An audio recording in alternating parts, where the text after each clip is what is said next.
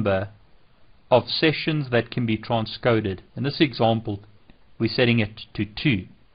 Now, DSP farms have to use Skinny. So notice we are typing the command associate application Skinny, client control protocol, and then we are no shutting or enabling the transcoder.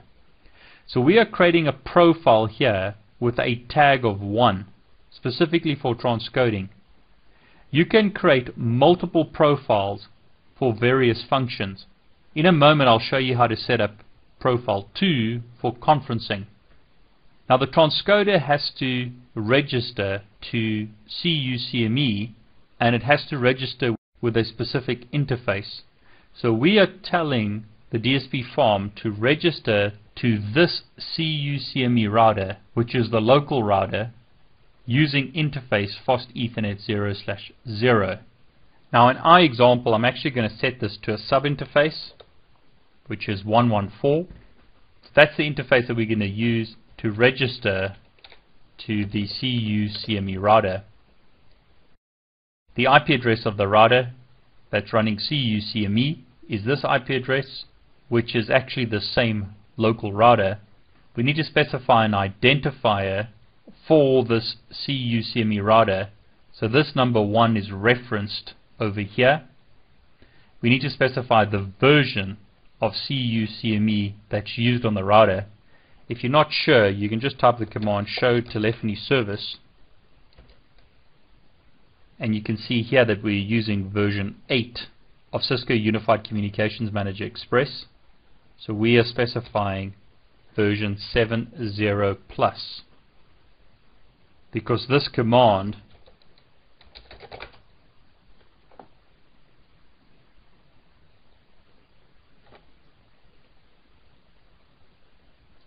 notice doesn't give you an option for 8 We have to enable Skinny globally, so we've enabled that. Now this CCM group allows us to bind the DSP farm profile, in other words profile 1, to the CUCME router that we have referenced over here. So this one is referenced there, and this one is referenced over here. We're once again telling the DSP farm to use this interface when communicating with CUCME and we are telling it to use this name when communicating with the CUCME router. In a lot of Cisco documentation they specify that as a MAC address and imply that it has to be MTP and the MAC address of this interface which is not actually true. It's just a unique name. In the telephony service we have to specify that name to allow the DSP farm to register.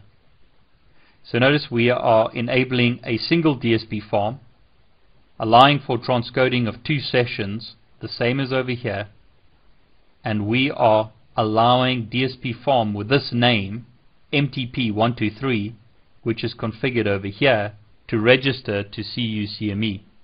So this is the name used by the farm to register to CUCME and in CUCME we are saying that the DSP farm with this name is allowed to register.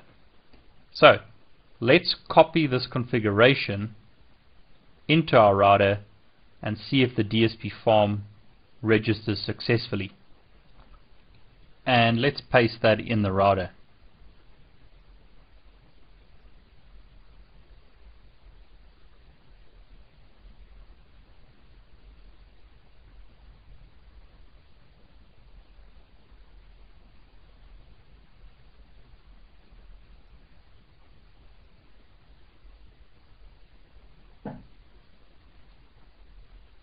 So the config has successfully been pasted onto the router.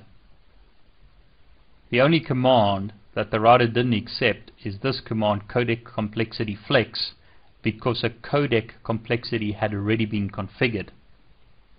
So if we type the command do show run pipe begin voice card we can see that the codec complexity was set to medium already.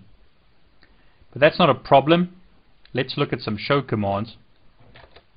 So if we type the command show sdsp farm and let's look at the current sessions you can see at the moment there are no sessions. Everything is idle. So let's test whether our DSP farm works for transcoding.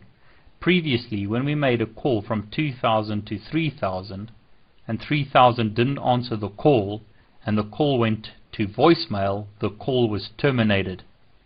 Let's see what happens now.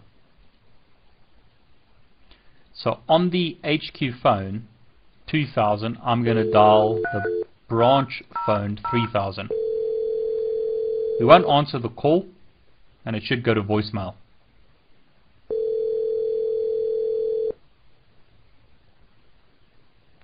There's no mailbox associated with this extension. Goodbye.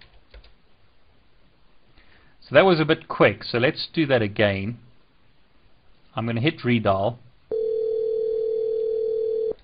At the moment the sessions are idle.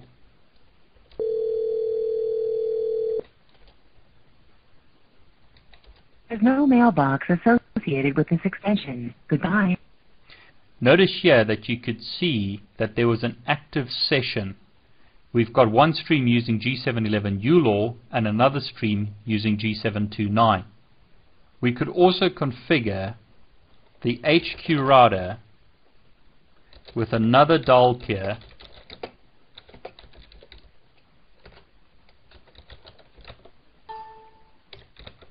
We're going to specify a destination pattern of 1999, which is the voice mail on the branch router and I'm going to specify the session target as 10.1.6.102 which is the branch router. Need to specify IP version 4.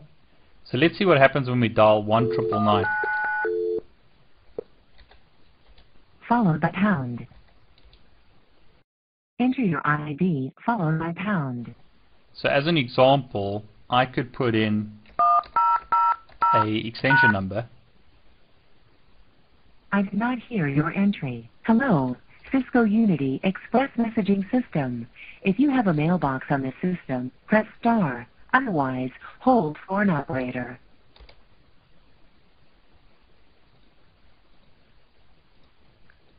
Notice that you can see that transcoding is taking place in this example G711 to G729. So stream ID 3 and 4 have been used in this example. We could also do the command show sdsp farm units and you can see here that a DSP farm has registered in Skinny and it supports the transcoding of these codecs with a maximum stream of 4. When we look at our sessions, notice we can see stream IDs and if you remember when there was one call, two stream IDs were used. Another command we can use is show DSP farm and let's go for all. Notice here you can see that the state is active we have configured the DSP farm for transcoding. The number of resources configured is 2, available is 2, various codecs are supported.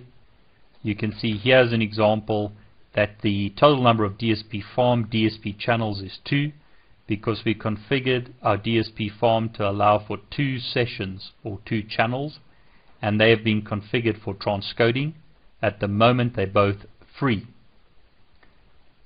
But if we made a call once again to 1999, enter your ID followed by pound. Do the command again.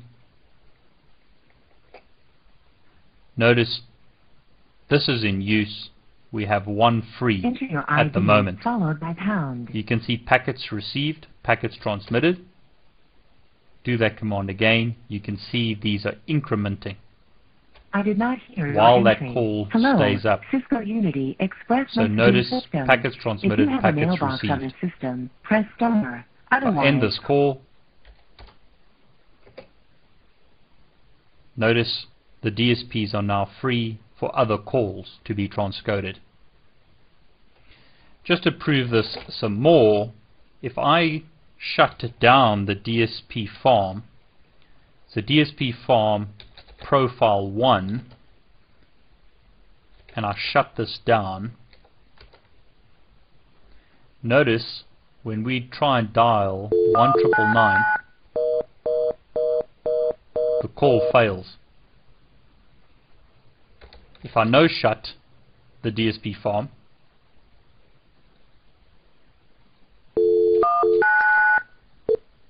Enter your ID. Notice the call succeeds. pound.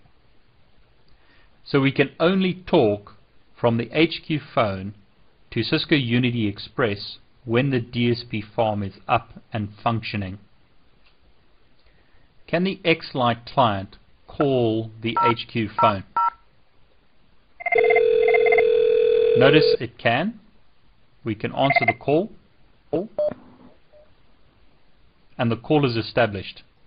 Notice as an example, on this side, the codec used is G729, whereas the X-Lite client is configured specifically for G711. Once again, we do the command show DSP farm all, you can see that transcoding is taking place. Notice these values are incrementing That concludes this first video discussing the configuration and setup of digital signal processors or DSPs. In this video we looked at how to set up a hardware transcoder allowing us to transcode or convert between codecs such as G711 and G729. In the next video I'm going to show you how to set up a hardware conference bridge using DSPs within a Cisco router. Thank you for watching.